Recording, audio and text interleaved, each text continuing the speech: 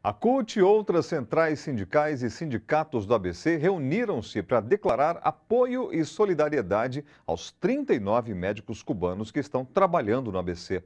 Eles chegaram na região através do programa Mais Médicos do governo federal. O programa expandiu o atendimento médico a populações carentes no interior do país e até em grandes centros urbanos. O objetivo é o movimento sindical do ABC e, independentemente de que central faça parte, é declarar o apoio aos profissionais do programa Mais Médico que estão vindo trabalhar aqui na nossa região. Eu gostaria que se levantasse para que a gente pudesse identificá-los, companheiros e companheiras, médicos, médicas, trabalhadores, com uma salva de palmas de todos nós.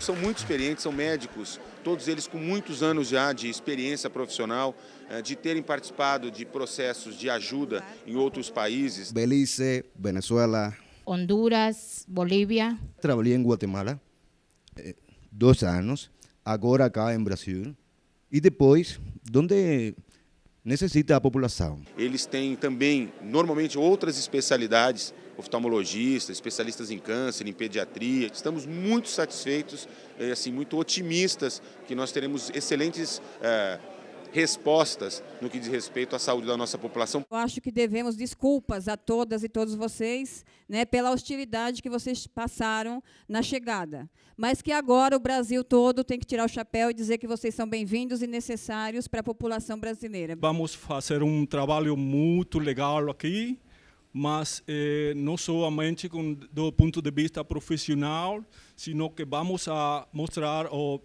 eh, dar para vocês eh, é, além disso, nosso, nosso coração e nossa vida, se fosse é, necessário. A vinda de vocês parece que dá uma virada na cabeça desses médicos que vão para a faculdade, se formam em busca de bens materiais. Os trabalhadores do ABC estão com o programa Mais Médico, estão com a presidenta Dilma, estão com o ministro Alexandre Padilha, mas, acima de tudo, estão com o povo pobre do Brasil que precisa de mais saúde. Tenha confiança em nós, em nosso trabalho. Muito obrigado de ficar aqui no Brasil, um país que é muito importante para nós, para Cuba, para a Latinoamérica, para todo mundo. E vamos a trabalhar juntos todos por um Brasil melhor.